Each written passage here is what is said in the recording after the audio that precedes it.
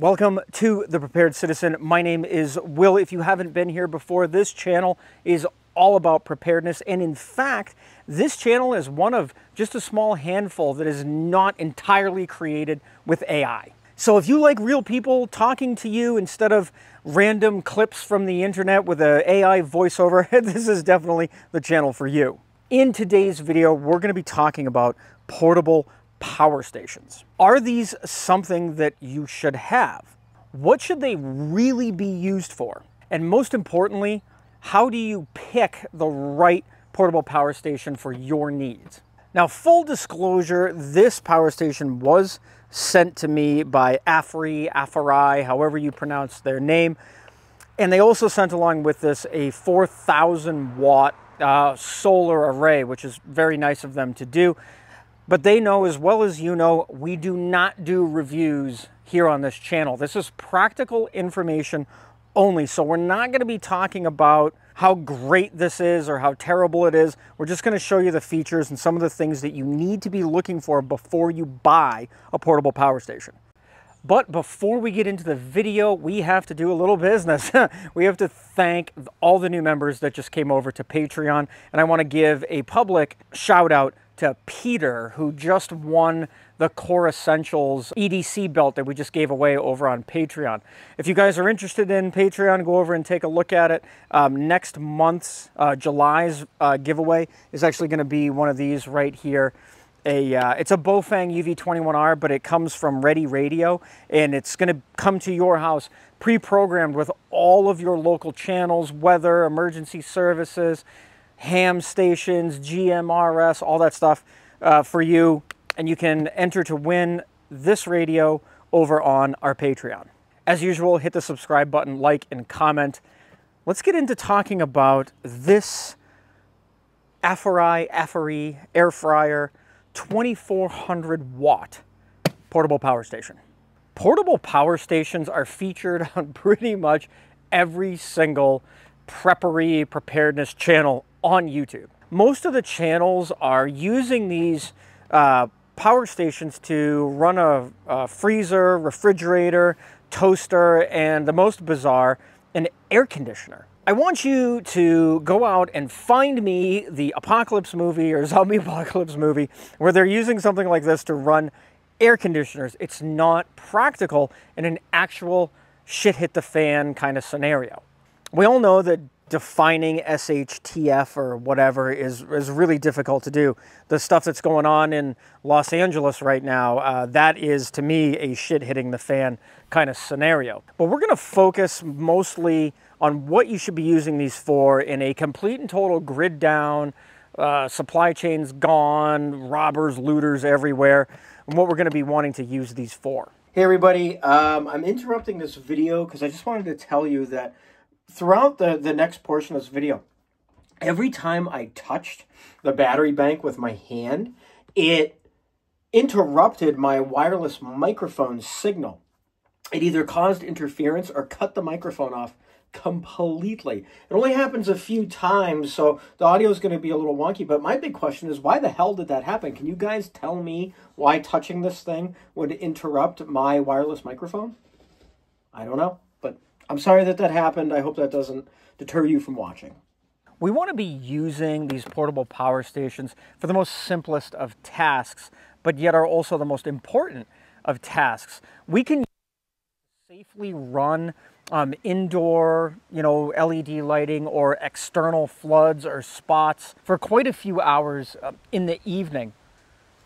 But I think, truthfully, the most important thing that we should be using these for is to charge batteries. Batteries and other electronic devices are going to be really what separates us from the living and the non-living people in a, in a shit hit the fan scenario. We use batteries for everything and they're in everything, our phones, our vehicles. So let me just tell you some of the things you want to be looking for when you buy one of these portable power stations. You absolutely want to have at least one, uh, what they used to call a cigarette lighter plug. It's a 12 volt plug. You want to have at least one of those. This one happens to have two, both at a 25 amp and a 10 amp, and then it's got these 12 volt, 3 amp uh, plugs right here.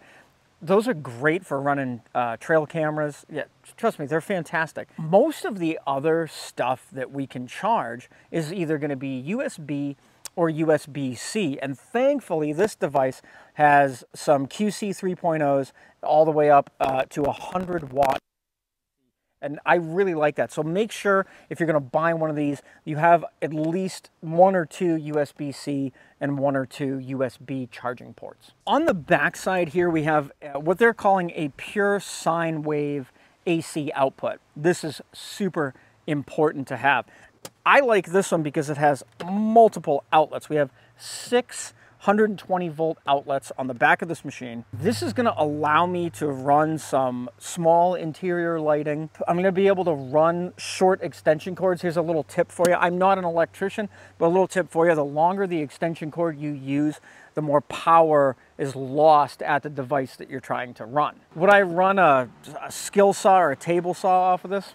Absolutely not. The startup load is insane. This is only 2400 watt. I'm pretty sure we'd trip the internal breaker. Uh, if we turn this thing around here, uh, one of the other features that I always look for in a, in a battery bank is uh, the ability to charge with both an AC input, which this one has here, we can charge AC input, or we have a DC input here for the solar panels that they sent with this. But you don't need to use their solar panels. If you have a solar array, all you need is um, whatever this connection is. Again, I'm not an electrician, I'm not too familiar with it, but does it say? An XT90 input.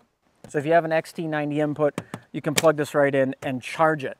Another great feature uh, that you want to look for is, I think it's called pass-through charging. What that means is the device can accept a, uh, an input, a charge, and also run devices at the same time. Is it a wash? Yeah, but you know, once your device is charged and it's not calling for power anymore, then this thing will continue to charge. So I just kind of want to show you here on this one. I have looked at a lot of these and again, like they did send me this for free, so why not take it? It saves me a little bit of money, but I like this one because not only does it show the battery charge percent, which here it's 97%, but we also have the output wattage. I like that. I like to know how much current is being drawn out of this device. And then over here we have the time remaining. I don't know if that's actual time remaining or not.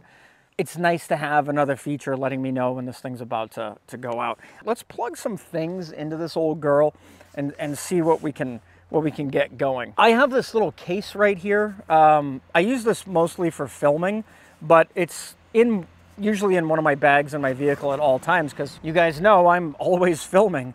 So inside here, I've got these super fast uh, charging cables, USB, USB-C. I've got some uh, ones with a little circuit in them or something to lower the voltage. More here, tons of them here. I've got a few of these right angle adapters so that we can charge more things. It's just always good to have a bunch of USB-C charging cables on you at all times. So with this particular device, we actually have to push the USB button and that gets us going there. We're gonna plug in this guy. We're gonna plug in this guy. And then we're gonna go straight to the 100 watt uh, so we can charge the battery bank here. Plug that guy in, we're going to plug in our radio because, I mean, we need comms. We need communications in a, uh, you know, apocalyptic kind of thing. If you don't have a radio, if you have no way to stay in contact with everybody else, I'm going to guarantee that you're going to die. And this thing right here, this battery, this battery, this is one of those things that if you don't have the device that this is attached to, which is a drone, um, if you don't have a drone, again, you're, you're, you're behind the eight ball already. You, you can't do any forward reconnaissance. You can't check things out. Yeah, having drones is super important, but unfortunately, I can't afford a $200,000 gas powered drone, so I have to use battery powered, so we can plug that in there and we can always have our drone batteries charging. So I don't know if you guys can see the screen or not. Let me kind of zoom in a little bit here. So we're at 97% 17 to 20. We have here 63 hours uh, remaining in, in the battery life on this device. So I have here a Craftsman uh, 20 uh, volt battery and a DeWalt 20 volt battery because truth be told, I don't know this machine and I'm not plugging my Festool batteries into this thing quite yet. So we'll plug him in and then we're gonna push this AC button. AC is on. That's now jumped us up to 156 watts with nine hours remaining. And I think one of the other things that we should be always concerned about is these guys right here, these double A, triple A D cell batteries. A lot of my accessories on my rifles run off of double A batteries. So I use these, these are EBL 2800 milliamp hour batteries. I love them. I put these in my trail camera uh, during deer season, and they last the entire deer season through the cold and the, the warm days we've been having. And the other good thing about the EBLs is that these also have an external uh, USB port on them as well. So if you have to, you can run those. They go into the device, and then we're going to plug those in here. And we are charging. So we're running about 113, 112 watts, 12 hours remaining. And I'll tell you, I just noticed over here on my Craftsman battery, um, this battery appears to have already been charged because the green light isn't flashing, so the, not very accurate. Let's also talk for a minute on the weight of these machines. This one's fairly compact. It has some really robust uh, grab handles at the top, but it weighs probably 45 to 55 pounds. It's a very heavy unit unit unit it's not something that you're going to be able to you know throw in a backpack and, and take on your way which again is why i am a big proponent of these smaller little battery banks that we can charge with this. Just in this short amount of time the drone battery is completely charged. The dewalt uh, battery is also completely charged and i can tell you i was running this battery all day today so that's now charged. And the battery bank here is only about uh, less than half of the way charged. Between the time you last saw me and now, it's been probably 45 minutes, give or take. So it seems to be charging the battery bank a little slower than I would like it to. Um, and the radio, let's check that. Fully charged radio. So if you come take a look down here, you can see that we're 37 hours remaining 93%, and it's still pulling 19 watts, which is pretty accurate because we're on the 20 watt plug there. So we've done all that, we've done all those tests, but I had said before that really the primary use that you want to be using this for in a, you know, shit hit the fan kind of thing is interior and exterior lighting. So when it gets a little darker, we're gonna run up to uh, the Hardwick Rod and Gun Club. We have a shipping container that has uh, interior LEDs also has exterior, um, you know, like deck lighting LEDs and then some spotlights. So we're gonna run up and we're gonna test this on those LEDs. And I can tell you right now that those draw, the, especially the spotlights draw a lot of power. So we'll check this out and see if it can run, you know, some lights inside that shipping container. So I just got up to the club up here. It's, uh, what time is it here? 2025. I, I, had to do I had to do a little bit of rewiring of my buddy Blake's uh, setup in here because I'm a moron and I forgot to bring the the right plug. Make sure you know your plugs, ladies and gentlemen. 20 amp and 30 amp plugs are completely different. So remember that. I did not know that. So I've got the, the unit down here. Let's uh, bring you guys in here. I lost my uh, photographer. She didn't want to come up. So we've got 93 uh, 93%, 69 hours, zero watts. I'm gonna go in and switch on the switch and let's see what happens. I haven't tried it yet, so hopefully I don't get electrocuted. Here we go, one, two, three. And we have lights on inside. We're running 292 watts. So you can see inside the container here, we have light, this is a pretty good uh, representation of, uh, you know, a shit hitting the fan thing. You might be living in a shipping container. And then as far as uh, external lights go, these lights uh, he has wired. I, I don't know what I did, but anyway, these came on as well. So we've got some pretty bright uh, access lights out here to be able to work. And Yeah, I mean, that's the purpose of this generator, right? But what if we want to run spotlights? What if that's our goal is to run bright spotlights? Well, give me two seconds to do a little wire jiggering and I will show you. Now, before you ask me, I don't know. I don't know who makes uh, these lights, but these are really bright spotlights. We've got uh, one over here and one over here, and with a little adjustment, we'll actually be able to illuminate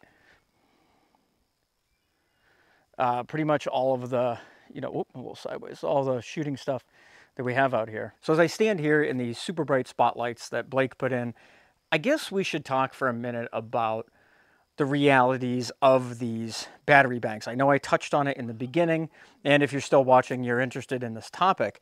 Um, there's a lot of videos out there.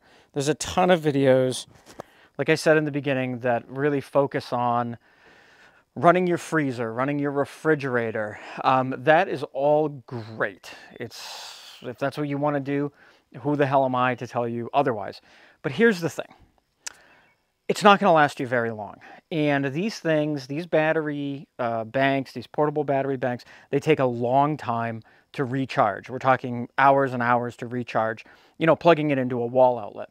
If we're using solar and it's an overcast day, you're shit out of luck. You're not going to be able to charge that battery bank. And therefore, you can't power anything in your house.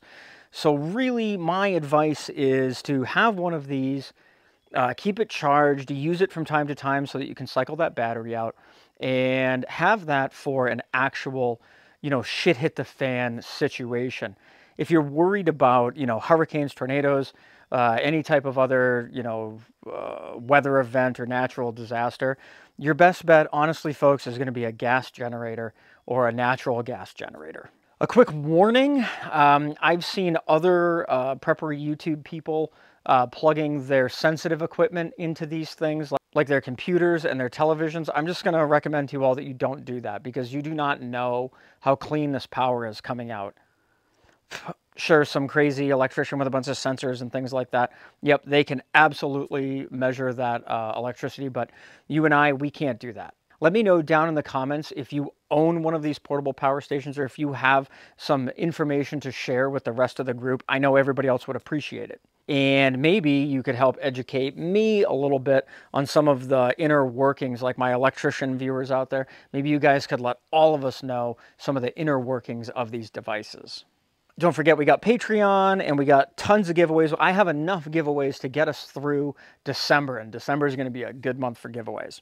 Ladies and gentlemen, thank you so much for watching. My name is Will. This is The Prepared Citizen. And remember, the best time to prepare was yesterday. The second best time is today.